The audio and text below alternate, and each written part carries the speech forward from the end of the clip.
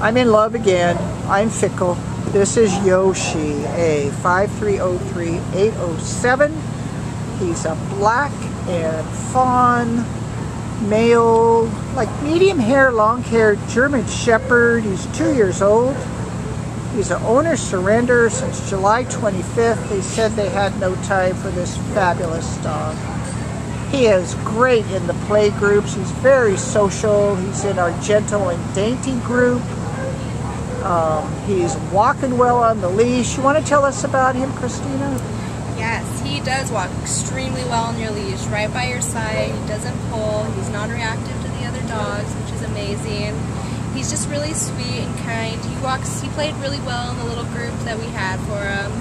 Um, I just, he's just a loyal best friend that you're gonna have right away. He's gonna be a good running buddy. He has high energy. He's pretty calm though, so that makes a great benefit for you.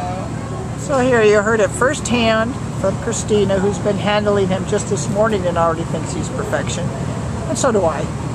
His name is Yoshi 5303807. He's here at the Los Angeles County Shelter in Downey.